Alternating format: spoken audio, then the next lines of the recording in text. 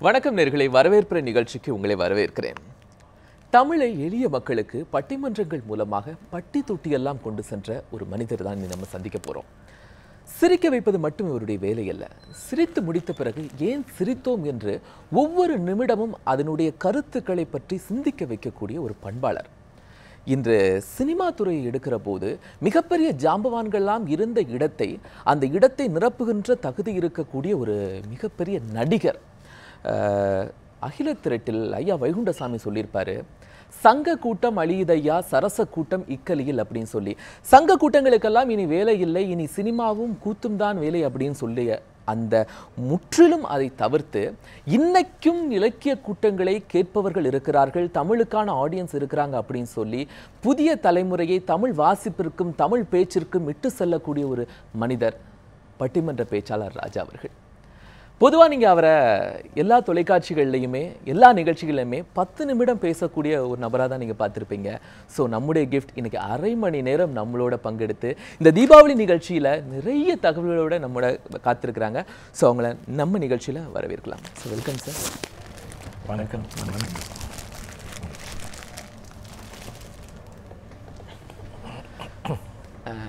ராஜா sir அப்படின்னோடனே எல்லாருக்குமே ஒரு சந்தோஷம். நிறைய தகவல்களை கேட்கும் அப்படின்னு. அதை விடவும் எனக்கு ரொம்ப சந்தோஷம். நிறைய இன்னும் ஒரு பேச்சாளர் அப்படிங்கிற இடத்துல உங்களுடைய பணி மிகப்பெரிய பணி. அந்த பணியை பற்றி உங்களுடைய ஹிஸ்ட்ரியை பற்றியும் எல்லாருக்குமே தெரிஞ்சிருக்கணும். உங்கள்கிட்ட நிறைய பேர் கேட்டிருப்பாங்க. பட் இந்த மாதிரி ஒரு வைடு ஆடியன்ஸுக்கு அது தெரிஞ்சணும் அப்படின்னா ஒரு நிகழ்ச்சியின் மூலமாக தான் முடியும். ஸோ இன்னைக்கு தீபாவளி தினத்தில் ஒவ்வொரு வீடுகள்லையும் தீபாவளி அப்படின்னா ஒரு பட்டிமன்றம் அப்படிங்கிறது ஒவ்வொரு தொலைக்காட்சிகளும் அதை பின்பற்ற வேண்டும் அப்படிங்கிற ஒரு மிகப்பெரிய வழிமுறைகளையும் ஒரு அமைப்பையும் ஏற்படுத்தி கொடுத்ததே உங்களுடைய பட்டிமன்றம். பட்டிமன்றங்கள் தான் முதல்ல எல்லாருக்கும் வணக்கமும் தீபாவளி நல்வாழ்த்துக்களும். உங்களுக்கும் என்னோடய வாழ்த்துக்கள். என்னை பற்றி கொஞ்சம் கூடுதலான அறிமுகம் கொடுத்தீங்க. அதுக்கெல்லாம் எனக்கு தகுதி இருக்கா? அதில் முக்கியமாக இவர் சிறந்த நடிகர் நீங்கள் அதெல்லாம் கிடையாது.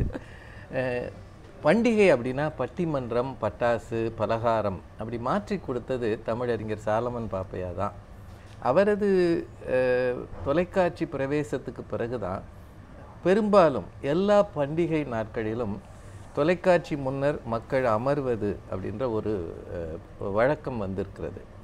நல்ல தமிழை கேட்கிற ஒரு வாய்ப்பு கொஞ்சம் நகைச்சுவை கொஞ்சம் செய்திகள் கொஞ்சம் அறிவுரை இலக்கியம் இதெல்லாத்தையும் கலந்த கலவையாக பட்டிமன்றங்களை மாற்றி குடும்பங்களை ஒன்று ஒட்டுமொத்தமாக அந்த டிவி முன்னாடி உட்கார வச்சது அவர் ச- தமிழறிஞர் சாலமன் பாப்பையா தான் அதுலேயும் நான் ஒரு அணிலையும் திருமதி பாரதி பாஸ்கர் இன்னொரு அணிலையும் இருக்கிறாங்கன்னா அந்த நிகழ்ச்சியில் சூடு சுவை இருக்கும் அப்படின்னு மக்கள் எதிர்பார்ப்பாங்க. இது எல்லாம் க ஏறக்குறைய பத்து பதினைந்து ஆண்டுகளாக தமிழ் மக்கள் மத்தியில் தமிழ் கூறும் நல்லுலகம் எல்லா இடங்களிலும். உலக நாடுகள்ல ஆமாம் அந்த மாதிரி ஒரு அமைப்பு உருவாகி இருக்கிறது. ஏதோ எங்களுக்கு தெரிஞ்ச வகையில் மிகப்பெரிய இலக்கிய பின்புலம் இல்லாட்டியும் சமூகம் சார்ந்த செய்திகளை எங்களுக்கு தெரிந்த வகையில் சொல்லி மக்களை மகிழ்ச்சிப்படுத்த முயற்சி செய்கிறோம். அவ்வளவுதான் எங்களோட எளிய பணி. ஆனால் இன்றைய ஒரு மேடை பேச்சு அப்படின்னா நிறைய இலக்கியம் படித்திருப்பார்கள். இலக்கிய பேச்சாளர்கள் மட்டும்தான் மேடையை அலங்கரிக்க முடியும் இருந்த காலங்களை தவிடுபொடியாக்கி சாதாரண மக்களுக்கு சொல்லுகின்ற விதத்துல ஒரு மேடையை கொண்டு வரலான்னு நீங்க அமைச்சிருக்கிறீங்க. அதுக்கு காரணம் வந்து இலக்கியம் சார்ந்த தலைப்புகள் இப்போ ரொம்ப குறைஞ்சிடுது. மக்களுக்கு அதை கேட்கிற அளவு அவகாசம் இல்லை அல்லது மனப்பக்குவம் அல்லது மன விருப்பம் இல்லை. அவங்க ரொம்ப ஜாலியாக இருக்கணும்னு நினைக்கிறாங்க. நீங்கள் திரைப்படங்களே பார்த்தீங்கன்னா கதை அம்சம் இருக்கிற படங்கள் மாதிரி வெறுமனே நகைச்சுவை படங்கள் தான் இப்போ அதிகம் வந்திருக்கு. அதனால் சமூகம் சார்ந்த விஷயங்கள் குடும்பம் சார்ந்த சினிமா சார்ந்த விஷயங்களை மக்கள் விரும்புகிறாங்க இலக்கியத்துக்கு இடம் இல்லைன்னு சொல்ல மாட்டேன். சில தொலைக்காட்சிகளில் இலக்கிய நிகழ்ச்சிகள் வருது. சில இலக்கிய அமைப்புகள் தொடர்ந்து நல்ல இலக்கிய பேச்சாளர்களை அழைத்து பட்டிமன்றங்கள் நடத்துகிறாங்க அதெல்லாம் நடந்துக்கிட்டு தான் இருக்குது ஆனால் வெகுஜன ஊடகங்கள் அது அதிகம் காணப்படுவதில்லை. எங்களுக்கு இலக்கிய பின்புலம் முழுவதும் இல்லைன்னு நான் சொல்ல மாட்டேன். ஐயா வந்து இலக்கிய பேச்சு பேசும்போது அதை கேட்டவர்கள் ஏன்னா அவர் ஒரு ஐம்பத்தைந்து ஆண்டு காலம் தமிழ் மேடைகள் இருக்கிறார் பாப்பையா சார். ஆரம்ப காலங்களில் முழுக்க இலக்கியமாக தான் அவர் தொடங்கி நடத்தினார். எண்பதுகளுக்கு பிறகு தான் குடும்பம் சமூகம் சார்ந்து அதிகமாக வந்தது. தவ திரு குன்றக்குடி அடிகளார் காலத்துக்கு பின்னாடி. அதனால் அவங்க இலக்கிய பின்புலத்தில் வந்தவங்க தான் இன்றைக்கி இலக்கிய தலைப்புகளை செய்ய முடியும். எங்கள் அணியில் இருக்கக்கூடிய நிறைய பேர் டாக்டர் தாக்கு சுப்பிரமணியன் பேராசிரியர் ராஜாராம் நிறைய பேர் இருக்கிறாங்க. திருமதி பாரதி பாஸ்கரே சென்னை கம்பன் கழகத்திலிருந்து வந்தவங்க தான்.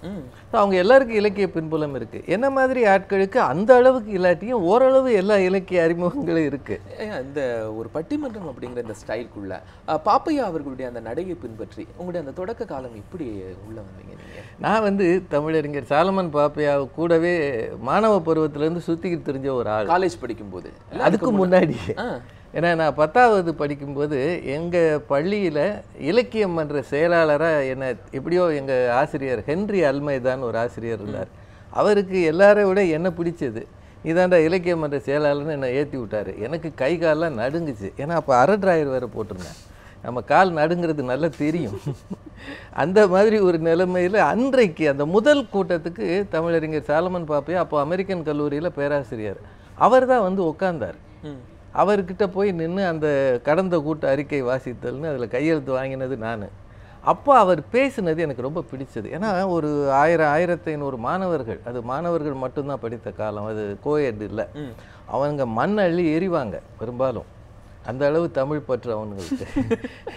ஏன்னா புரியாது அவங்க பேசுறது. அஹ் இலக்கியங்கள் தான் பேசுவாங்க. அந்த அவையை இவர் ஒரு ஒரு முக்கால் மணி நேரம் கட்டி போட்ட மாதிரி சிரிக்க வச்சு அந்த பசங்களுக்கு த செய்திகளும் சொன்னார். எனக்கு அன்றைக்கு தான் ஒரு பேச்சாளரால் ஆசிரியர் பெரம்ப வச்சுட்டு கண்ட்ரோல் பண்ண முடியாத ஆயிரத்தி ஐநூறு பேரை ஒரு பேச்சாளர் தன் நாவன்மையால் கண்ட்ரோல் பண்ண முடியறதுன்னு பார்த்து எனக்கு பிரமிப்பாக இருந்தது. அதிலிருந்து இவர் எங்கே பேசினாலும் கூடவே போவோம். ஒரு பேச்சை ஒரு செய்தியை எப்படி நம்ம சிரிப்பா மாத்துறது? சிரிப்போட அந்த கருத்து குலையாம எப்படி கொடுக்கறது? அதுக்கு கொஞ்சம் பயிற்சி வேணும். மனிதன் எப்போவுமே தன்னோட பேச்சில் கொஞ்சம் கற்பனை கலக்கணும். ஆனால் அந்த கற்பனை யதார்த்தத்துக்கு அப்பாற்பட்டு போ போனதாக இருக்கக்கூடாது. நீங்கள் எல்லா நிகழ்வுகளையும் இன்னொரு பார்வை பார்த்தீங்கன்னா வித்தியாசமாக தான் இருக்கும். அது எதிர்க்கட்சி பார்வை இல்லை. இன்னொரு பார்வை. இப்போ நடந்த எல்லா செய்திகளையும் திரும்ப யோசித்து பார்க்கும்போது காமெடியாக இருக்கும். அது அது வந்து உங்கள் கற்பனை கலந்தது. அப்புறம் கொஞ்சம் உங்களுக்குள்ளேயே அந்த சென்ஸ் ஆஃப் ஹியூமர் இருக்கணும்.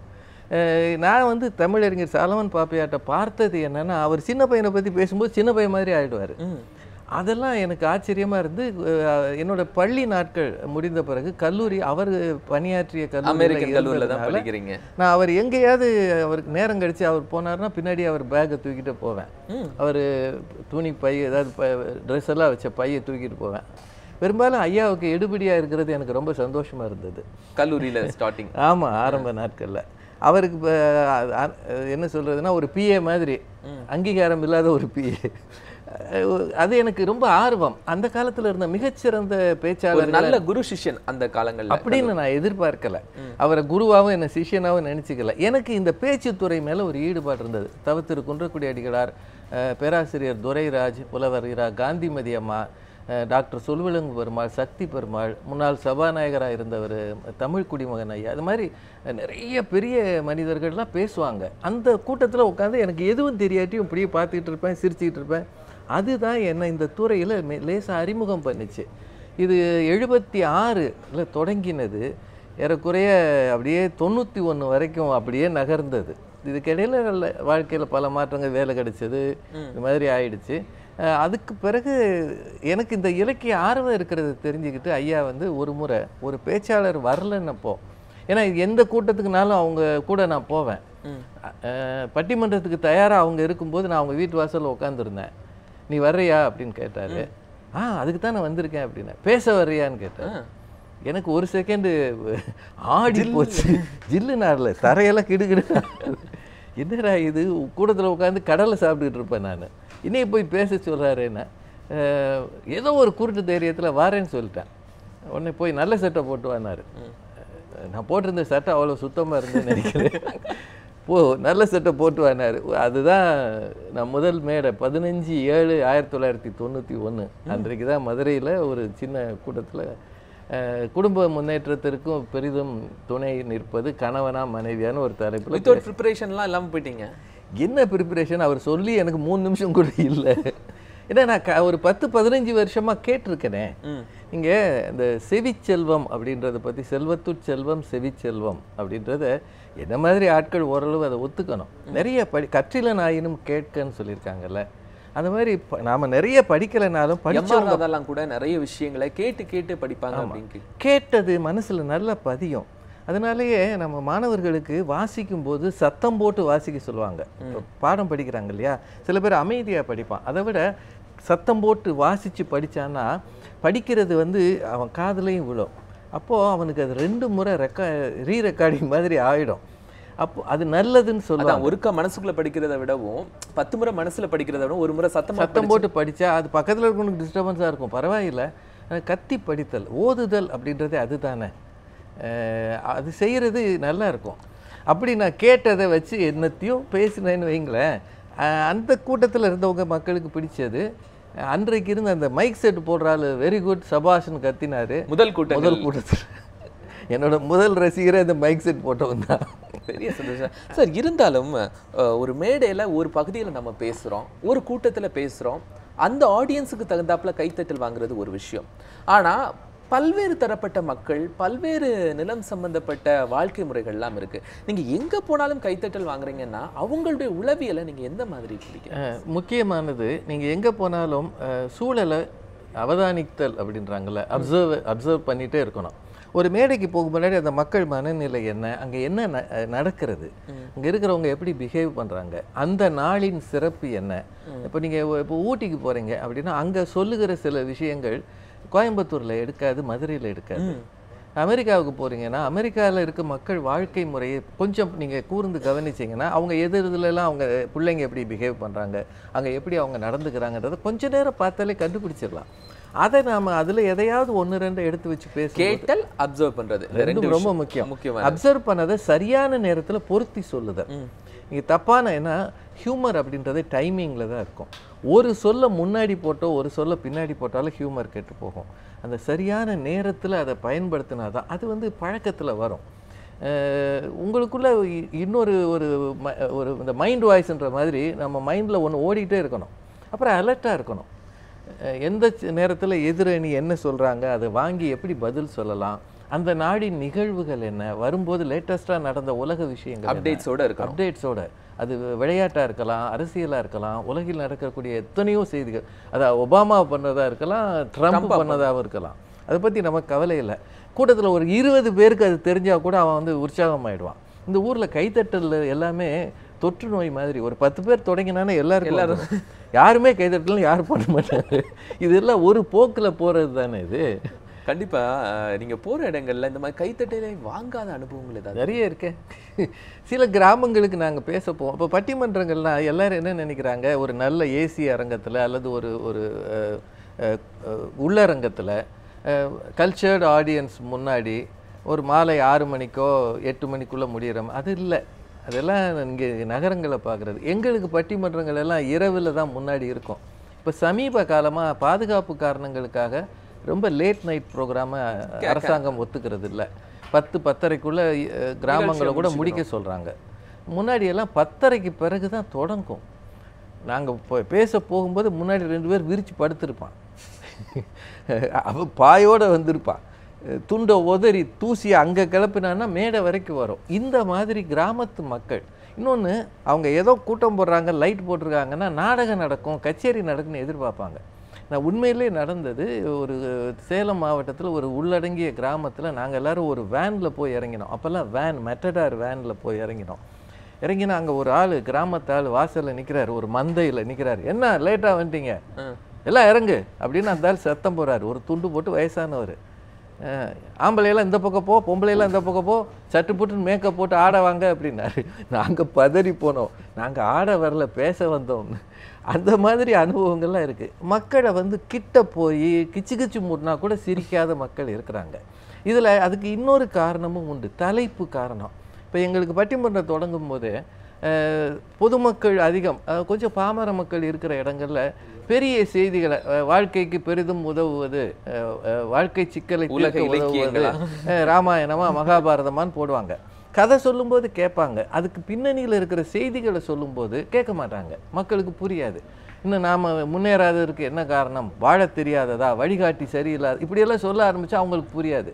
சாதாரண செய்திகள் சொல்லும்போது கிராம மக்கள் கேட்பாங்க. சினிமா அப்படிங்கிற டேனுக்கு நீங்கள் வந்தீங்க. அதுக்கு முன்னாடி பட்டிமன்றம் அப்படின்னா ராஜா பாரதி பாஸ்கர். இந்த ரேப்போ எப்போ உருவாச்சுது அஹ் ஆயிரத்தி தொள்ளாயிரத்தி தொண்ணூற்றி ஒன்றுக்கு பிறகு மேடம் பாரதி பாஸ்கர் அவர்கள் எங்கள் அணியில் வர ஆரம்பித்தாங்க ஆரம்ப காலங்களில் ரொம்ப குறைவான நிகழ்ச்சிகளை தான் அவங்க பங்கேற்றாங்க. ஆனால் மற்ற பேச்சாளர்களை விட அவங்களது பேச்சு ஆற்றல் வித்தியாசமாக இருக்கிறத பாப்பையா சார் அடிக்கடி சொல்லுவார். ஏன்னா அவங்க வந்து ஒரு கெமிக்கல் என்ஜினியர் அப்புறம் எம்பிஏ பண்ணினவங்க வேறு என்ன மாதிரி வங்கித்துறையில் பெரிய பதவியில் இருக்கிறவங்க.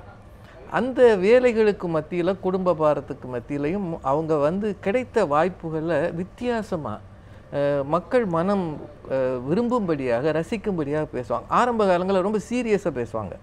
இப்போ அவங்க பேச்சில் கொஞ்சம் நகைச்சுவை கலந்துருக்கு. அப்போல்லாம் ரொம்ப வேகமாக ஆவேசமாக சிரிக்கவே வாய்ப்பு வாய்ப்பில்லாத முகத்தை வச்சுக்கிட்டு பேசுவாங்க. அந்த இது வந்து ஒரு தொண்ணூற்றி ஒன்றுலேருந்து ஒரு தொண்ணூற்றி எட்டு வரைக்கும் ஏறக்குறைய அப்படியே அது வந்து போய்கிட்டு இருந்தது தொண்ணூற்றி எட்டுக்கு பிறகு ஏறக்குறைய ஐயா பட்டிமன்றம்னா அவங்க இருக்கிற மாதிரி ஒரு அமைப்பு நிலை ரெண்டாயிரமாவது ஆண்டுக்கு பிறகு ஆல்மோஸ்ட் பாப்பையா சார் டீம்னா அவங்க இருப்பாங்கன்னு இப்போ நான் ஒரு அணியில் இருந்து அவங்க அதே அணியில் இருந்தால் அதை பொதுமக்கள் விரும்புறதில்ல. ஏன்னா பெரும்பாலும் குடும்பம் சார்ந்த நிகழ்வுகளை ஆண் சைடுக்கு பேசுகிறவங்கள கணவன்மார்கள் தங்களது பிரதிநிதியாகவே நினைப்பாங்க. நம்மால் பேசுகிறாயா அப்படின்னு அதே மாதிரி பெண்கள் பக்கம் பேசுகிறவங்கள பெண்கள் தனக்கான குரலாக நினைப்பாங்க. இப்போ இதை ஒரு அணியில் ரெண்டு பேரையும் போடாமல் மாற்றி போடும்போது நான் பேசின பிறகு அவங்க பேசினா பெண்கள் படு சந்தோஷப்படுவாங்க. அவங்களுக்கு பதில் சொல்லி நான் நீங்க பேசினா பேசுனீங்கன்னா? ஆண்கள் குதிப்பாங்க. ஆக இது வந்து மக்கள் மத்தியில் ஒரு வித்தியாசமான வரவேற்பை பெற்றது. அதனாலேயே எங்கள் தொலைக்காட்சிகளை அதை விரும்புவாங்க. ஒரு பட்டிமன்ற பேச்சாளர் அப்படிங்கிற நிலையை தாண்டி சில இடங்களில் நீங்கள் பட்டிமன்ற நடுவர்களாக இருந்து செயல்பட்டு இருக்கிறீங்க. பட்டிமன்ற நடுவர் அப்படிங்கும்போது ஒரு தலைப்பு கொடுக்குறாங்கன்னா அதுக்கு தீர்ப்பு கொடுக்குறது அப்படிங்கிறது ஒரு பெரிய விஷயம். தனிப்பட்ட நபருடைய நீங்கள் சொன்ன மாதிரி அவதனிக்கணும். அவங்க உள்ளத்துக்குள்ளே என்ன இருக்குது அது எப்படி சரியாக வரும் அப்படின்னு அவதனித்து பல விஷயங்களை சட்டப்பூர்வமான விஷயங்களை கூட நீங்கள் அடுக்குறீங்க. அதுக்கு சாதாரண ஒரு இலக்கிய வாசிப்பு மட்டும் போராது இந்தியன் கான்ஸ்டியூஷனை நீங்கள் ரீட் பண்ண வேண்டியது இருக்கும். அம்பேத்கருடைய சட்ட புத்தகங்களை எல்லாம் நீங்கள் புரட்ட வேண்டியது இருக்கும். இதெல்லாம் நீங்கள் பண்ணிட்டு அவ்வளவு தொலைவுக்கு நாங்கள் போய் படிச்சுட்டு வர்றதுன்றது பொய் அது. அஹ், இலக்கியங்கள் பரிச்சயம் எங்களுக்கு உண்டு. என்ன தலைப்பு நாங்கள் எடுத்துக்கிறோமோ அந்த தலைப்புக்குரிய அடிப்படை வேலை பண்ணி தான் ஆகணும். இப்போ நீங்கள் சட்டம் சம்மந்தப்பட்டதுன்றது சின்ன சின்ன அறிமுகங்கள் அல்லது சட்டம் படித்தவர்கள்ட்ட கேட்போம் நாங்கள். அப்போ இந்த தலைப்பு நிகழ்ச்சிக்கு போறதுக்கு முன்னாடி. போகிறதுக்கு முன்னாடி இந்த தலைப்பு இதில் விருப்பு வெறுப்பு இல்லாமல் எது சரின்னு நீங்கள் சொல்லுங்கள் ஏன்னா அவங்க சொல்லுகிறதையும் நாம் அங்கீகரிக்கணும் ஏன்னா அவங்க தான் துறை சார்ந்தவர்கள் அதே மாதிரி மருத்துவம் அறிவியல் சார்ந்த தலைப்புகள் எங்களுக்கு கொடுக்கப்படும் போது மருத்துவர்கள்ட்ட நாங்கள் கேட்போம். இதை பற்றி சொல்லுங்கள் இதில் லேட்டஸ்ட்டாக என்ன வந்திருக்கு? ஏன்னா நாங்கள் இப்போ ஹோம்ஒர்க் அப்படிங்கிறது இன்னைக்கும் நடந்துட்டு தான் இருக்கு. கட்டாயம். ஒவ்வொரு மேடைக்கு போகும்போது முதல் மேடையாக நாங்கள் நினச்சோன்னா தான் அந்த மேடையை சமாளிக்க முடியும். ஜெயிக்கிறதுன்றது கடவுள் கையில் இருக்குது எனக்கு கடவுள் நம்பிக்கை உண்டு. ஒரு மேடை பேச்சாளர் நான் போய் அந்த மேடையில் ஜெயிக்கிறோம். நல்ல மக்கள் மத்தி ஜெயிக்கிறோம்னா என்ன? மக்கள் மனம் விரும்பும்படி பேசுகிறோம். ஜெயிக்கிறது தோக்குறதுன்றது இல்லை. அப்படி பேச முடியும் அப்படின்னா அது நம்முடைய தயாரிப்புகள் நம்முடைய அணுகுமுறை பேச்சாற்றல் இதை எல்லாத்தையும் தாண்டி இறைவன் அருள் அன்னைக்கு என்ன இருக்கோ அதுதான் நடக்கும். இருந்தால் கூட முதல் மேடைக்கு போகிற தயாரிப்போடு நாங்கள் போனால் தான் ஓரளவு செய்ய முடியும். பேச்சாளர் அப்படிங்கிற ரொம்ப ஃப்ரீயான ஏரியா ஒரு வகையில். நான் ப்ரிப்பேர் பண்ணேன். அவங்க பேசுகிறத நான் போஸ்ட் பண்ணி பேசுகிறேன் அப்படிங்கிறது. ஆனால் சினிமாங்கிறது அப்படி கிடையாது. அந்த களத்துக்குள்ளே போகும்போது இன்னொரு டேரக்டர் நீங்கள் இதுதான் சொல்லணும் அப்படின்னு சொல்லிட்டு ப்ரெஷர் கொடுப்பாங்க. அப்படிங்கிற சூழல்லாம் இருக்குது எப்படி ஒரு பேச்சாளருக்கு அதை ஓவர் க்ரோ பண்ண முடியுது? திரைத்துறைக்கு வர்றதுன்றது நினச்சி கூட பார்த்ததில்ல. இதுக்கே வாய்ப்பு இல்லைன்னா அது எப்படி? ஆனால் இன்னொரு ஒரு நடிகர் வர வேண்டிய இடத்துல என்ன வந்து தற்செயலாக அவங்க அழைச்சாங்க. சங்கர் சாரை வந்து சிவாஜி படத்தில். அந்த இது செட் ஆயிடுச்சு. நடிக்கிறதுன்றது என்னை பொறுத்த வரைக்கும் சிரமமானது. ஏன்னா எங்களால் டயலாக் டெலிவரியில் சமாளிச்சிருவோம். முகபாவம் வராது. அதுல ஒரு சூப்பர் ஸ்டாரையே போங்கயா வெளியே அப்படின்னு சொல்லும்போது உங்க ஆடியன்ஸ் எப்படி? அது நிஜமாவே நான் வேகமாக பிடிச்சி தள்ளினேன். அப்போ ரஜினி சார் சொன்னார் என்ன இவ்வளோ வேகமாக தள்ளுறீங்க? ஏன்னா எனக்கு அப்போ நடிப்புக்காக தள்ளணும்னு தெரியல. இப்போ உங்களை வந்து இப்போ நடிகர்களாக இருந்தால் அப்படி கை வைக்கிற மாதிரி வைப்பாங்க தள்ளுற மாதிரி எடுத்துப்பாங்க. எனக்கு அப்படி தெரியாது. நான் நிஜமாவே பிடிச்சது அப்படி தான் நான் இருந்தேன். இன்றைக்கும் ஏறக்குறைய அந்த படம் வந்து ஷூட்டிங் போய் பத்து வருஷம் ஆச்சு. இன்றைக்குமே நமக்கு நடிக்கெல்லாம் வராது. அது சும்மா போவோம் ஏதோ டைரக்டர் சொல்கிறதுல ஒரு பத்து சதவீதம் முயற்சி பண்ணுவோம். அது ஏதோ சில டைரக்டர்கள் விரும்புகிறாங்க நான் சரி ராஜா சார் இருக்கட்டும். யதார்த்த நடிப்பை தான் இன்னைக்கு சினிமாக்குள்ள விரும்புறாங்க. இல்ல ஆடியன்ஸ் அதான் விரும்புறாங்க அதை தான் விரும்புகிறாங்க அப்புறம் அறிமுகமான சில முகங்கள் இன்னொரு விஷயம் தமிழ் பேச்சாளர்கள்லாம் இன்னைக்கு நிறைய நடிக்க வராங்க. அவங்களுக்கான அக்செப்டன்ஸ் நிறைய ஆடியன்ஸ் மனசுல இருக்கு. அதுக்கு காரணம் என்னன்னு நினைக்கிறீங்க? இல்லை பார்த்த முகங்களை பார்ப்பதில் நமக்கு ஏதோ ஒரு ஒரு விருப்பம் இருக்குது இப்போ என்னை வந்து ஒரு பேச்சாளராக பார்க்குறத விட ஒரு கேரக்டராக பார்க்குறத அவங்க மக்கள் விரும்புகிறாங்க உங்களுடைய பட்டிமன்றங்களுக்கு பிறகுதான் எல்லா தொலைக்காட்சிகளும் பட்டிமன்றங்கள் எல்லாம் நடத்தணும். அது ஒரு ஃபார்முலாவே ஃபங்க்ஷன்ஸா பட்டிமன்றம். அது உங்களுடைய குரல்களுக்கு பிறகுதான் அப்படின்னு நினைக்கிறீங்க அப்படியெல்லாம் நாம் எடுத்துக்க கூடாது. சமூகத்தில் எல்லாமே காலப்போக்கில் நடக்கும்.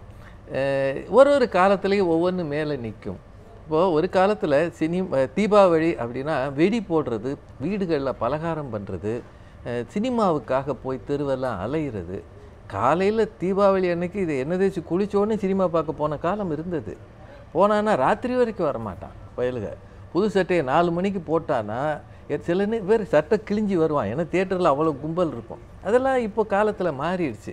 இன்னும் பட்டிமன்றங்களை தொலைக்காட்சிகள் கையில் எடுத்துக்கிடுச்சு. எல்லா தொலைக்காட்சிகளுக்கு யாராவது ஒருவரை வச்சு இப்போ பேச்சாளர்கள்லாம் நடிக்க போன மாதிரி நடிகர்கள் எல்லாம் பேச்சாளர்களாகிறது ஒரு வேடிக்கை நடந்துக்கிட்டு இருக்கு. அதனால் உண்மையிலே நல்ல பட்டிமன்றங்கள் தரமான தலைப்புகளை வைத்துக்கொண்டு இன்னமும் போக வேண்டும்ன்றது என்னோட ஆசை. இது நாங்கள் வந்த பிறகு தான் அவங்க வந்த பிறகு தான் சொல்கிறது கொஞ்சம் அதிகப்படியான இது இந்த கட்சி வந்து எங்கள் காலத்தில் தான் இந்த நாடு பொற்காலமானியது அவர் உடனே இல்லை இல்லை நான் அதுக்கு முன்னாடி இருந்தேன். ஆனால் இன்றைய தலைமுறை பிள்ளைகள் கொஞ்சமும் தமிழில் பேசுவது என்பது வீடுகளில் குறைந்து இருக்கிறது கொஞ்சம் கூட பேசுறது இல்ல பூரா ஆங்கில வழியில் படிக்கிறாங்க. இந்த பட்டிமன்ற நேரத்திலேயாவது குடும்பமாக உட்காந்து நீங்கள் இன்னைக்கு இருக்கிற சூழல்ல நகைச்சுவையை பார்க்கறது நகைச்சுவை நிகழ்ச்சிகளை பார்க்கும்போது இரட்டை அர்த்தம் தரக்குறைவானது பெருகி வருகிறது. அப்போ ஃபேமிலியாக உட்காந்து பார்ப்பது அப்படின்றது பட்டிமன்றங்கள் தான். அது எல்லா தொலைக்காட்சி பட்டிமன்றங்களையும் நான் சொல்கிறேன் நாங்கள் நடத்துறது மட்டும்னு நான் சொல்லலை. எல்லாத்துலேயும். ஒருவேளை ஐயாவுக்கு இருக்கிற ஒரு அனுபவம் வயது ஆற்றல் அதனால் அவருக்கு கூடுதல் ரசிகர்கள் இருக்கலாம். பட்டிமன்றம் என்ற கலை வந்து ரொம்ப அருமையானது. அது தமிழ் மக்களின் மனதுக்கு நெருக்கமானது. அதனால எல்லா டிவிகளும் அதை பயன்படுத்துது. கண்டிப்பாயா அதாவது இது ஒரு பயன்படுத்துறது மட்டும் இல்ல இதற்காகவே தமிழ் கத்துக்கணும் அப்படின்னு நினைக்கிறவங்க தமிழ்ல இவ்வளவு விஷயம் ரொம்ப நல்ல செய்தி சொல்லியிருக்கிறீங்க. தமிழ்நாட்டில் இருக்கிற பல பிற மாநிலத்தவர்கள் ராஜஸ்தானிகள் இப்போ சமீபத்தில் நாங்கள் கோயம்புத்தூரில் ஒரு நிகழ்ச்சி பண்ணோம். ஒரு சீக்கியர் வந்து கோயம்புத்தூரில் இருக்கிறார் ரொம்ப நாளாக அவர் பட்டிமன்றம்னா முதல் வரிசையில் வந்து உட்காந்துறாரு கர்நாடகாவில் வந்து தண்ணி தரலையே தவிர பட்டிமன்றம் போட்டால் நல்லா பார்ப்பாங்க. கேரளாக்காரங்க ஆந்திரா பீப்புள் இத்தனை பேர் வந்து பட்டிமன்றங்கள் அதாவது தமிழ் ஓரளவு அறிமுகம் இருக்கிறவங்க பட்டிமன்றங்களை ரசிக்கிறாங்க. இன்னும் சில பேர் வந்து கணவன் தமிழாக இருக்கும் மனைவி வேறு மொழியாக இருக்கும் அந்த மாதிரி வேறு மாநிலத்தவரை திருமணம் செய்து அந்த குடும்பங்களை பட்டிமன்றங்களை ரசிக்கிறாங்க. அவங்க பல பேர் இதை பற்றி வெளியில் எங்கிட்ட சொன்னதை நான் பார்த்துருக்குறேன்.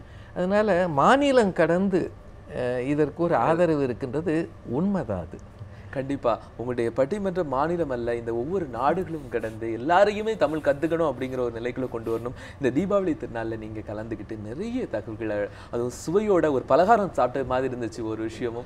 ரொம்ப மகிழ்ச்சி சார். ரொம்ப சந்தோஷம். இந்த மாதிரி ஒரு வாய்ப்பை எனக்கு கொடுத்ததற்கு ஏன்னா செய்தி தொலைக்காட்சிகள் இன்றைக்கி பெருகி இருக்கிற நேரத்தில் உங்களுக்கென்று ஒரு தனியான ஒரு இடத்த ஒரு அந்தஸ்தையும் வச்சுருக்கிறீங்க. நியூஸ் செவன் தமிழ் செய்தி தொலைக்காட்சி மூலமாக எல்லா நேயர்களையும் சந்தித்ததில் எனக்கு மகிழ்ச்சி. மீண்டும் அனைவருக்கும் வாழ்த்துக்கள். நன்றி.